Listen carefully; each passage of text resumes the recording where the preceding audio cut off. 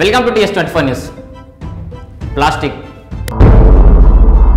మనిషి జీవితంలో సౌకర్యంతో పాటు సమస్యలు తీసుకొచ్చిన పదార్థం. కంఫర్ట్ కంఫర్ట్ అని పరిగెడుతూ కాలుష్యాన్ని మర్చిపోయి మానవ జీవశైలికి ముప్పు తెచ్చుకున్నాం మనం. మన అవసరాల కోసం ప్రకృతిని చేజేతులా మనమే పాడు చేసుకుంటున్నాం. భావి తరాలకు భవిష్యత్తు లేకుండా చేస్తున్నాం.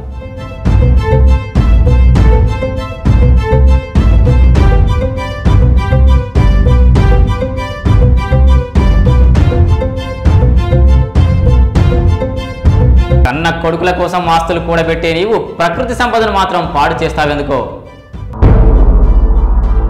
ఏదో సినిమాలో చెప్పినట్టుగా ప్రకృతి పగబడితే మెడికల్ టెస్టులు చేయించుకోవడానికి నువ్వు కూడబెట్టిన ఆస్తులమ్మినా సరిపోవేమో. దేశ జీడిపి పెరుగుతుందో లేదో తెలియదు కానీ ప్లాస్టిక్ వాడకం మాత్రం ఏటా పెరుగుతూనే ఉంది. ఈ ప్లాస్టిక్ అనే పాపం భూమిలో కరగడానికి వేల ఏళ్ళు పడుతుంది. ఒక్కసారి ఆలోచించండి. ఒక రోజులో మీరు ఇంటికి తీసుకొస్తున్న ప్లాస్టిక్ కవర్లు ఎన్ని? అవి కరగడానికి ఎన్నేళ్ళు పడుతుంది? మహానుభావులు రోడ్లకి ఇరువైపులా చెట్లను నాటించారని విన్నాం.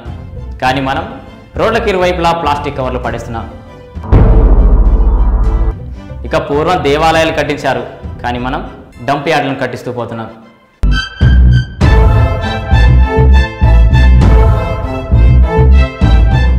ఉదయం లేచింది మొదలు అన్నింటా ప్లాస్టిక్ వాడకమే.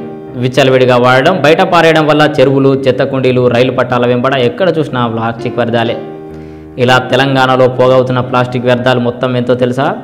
రెండు వేల పదహారులో ఒకటి పాయింట్ రెండు సున్నా లక్షల టన్నులుంటే ఇప్పుడు అది దాదాపు రెండు పాయింట్ ఐదు సున్నా లక్షల టన్నులకు పెరిగింది.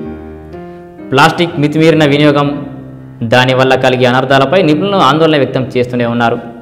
ముఖ్యంగా ఒకసారి వాడి పారేసే ప్లాస్టిక్పై నిషేధం విధించాల్సిందేనని స్పష్టం చేస్తున్నారు. ప్రజల్లో అవగాహన పెంచడంతో పాటు ప్రభుత్వం నుంచి నియంత్రణ చర్యలు పెరగాలని ప్రత్యామ్నాయాలను ప్రోత్సహించాలని సూచిస్తున్నారు. ఇక దేశంలో ప్లాస్టిక్ వాడకం ఏటికేడాది పెరుగుతూ పోతూనే ఉంది.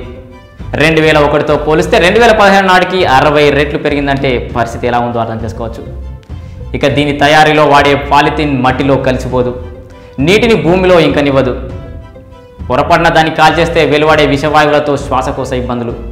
ఇక ఇప్పుడు ఏ విధంగా చూసుకున్నా ప్లాస్టిక్ వాడకాన్ని తగ్గించేందుకు ఇప్పుడున్న నిబంధనలు అస్సలు సరిపోవు. ఎక్కువ మందం ఉన్న ప్లాస్టిక్ వాడిన తర్వాత సేకరించి తిరిగి ఉపయోగించడం మేలు. జనం కూడా ప్లాస్టిక్ సీసాల బదులు గాజు స్టీల్ గ్లాసులో నీళ్ళు తాగాలి. క్యారీ బ్యాగులకు బదులు గుడ్డ సంచులు పేపర్ బ్యాగులు వాడాలి. షాంపూలు వంటి వాటికి ప్లాస్టిక్ సీసాల బదులు గాజులు వినియోగించాలి. ఇక మట్టిలో పారేసిన అందులో కలిసిపోని ఘన పదార్థం ప్లాస్టిక్. యాభై మైక్రాన్ లోపు ప్లాస్టిక్ మట్టిలో కలిసిపోవడానికి వెయ్యి సంవత్సరాలకు పైనే పడుతుంది. రాష్ట్రంలో కార్పొరేషన్లు మున్సిపాలిటీలో యాభై మైక్రాన్ల లోపు ప్లాస్టిక్పై నిషేధం ఉన్నా ఇక జిహెచ్ఎంసీలో జరిమానాల విషయానికి వస్తే తక్కువ మొత్తంలో ప్లాస్టిక్ కాలిస్తే ఐదు వేలు పెద్ద మొత్తంలో ప్లాస్టిక్ కాలిస్తే ఇరవై ఐదు వేల వరకు ఉంది. యాభై మైక్రాన్ లోపు ప్లాస్టిక్ క్రయించినా వాడిన ఐదు వందల వరకు జరిమానా ఉంది. ఇక వ్యర్థాలు మట్టిలో కలిసిపోయేదానికి పట్టే కాలం ఒకసారి చూస్తే కూరగాయలు ఐదు రోజుల నుంచి నెల రోజుల వరకు అరటి తొక్క ఇరవై నాలుగు రోజుల వరకు చెరుకు పిప్పి అరవై రోజులు రాలిన ఆకులు మూడు నెలలు పడుతుంది.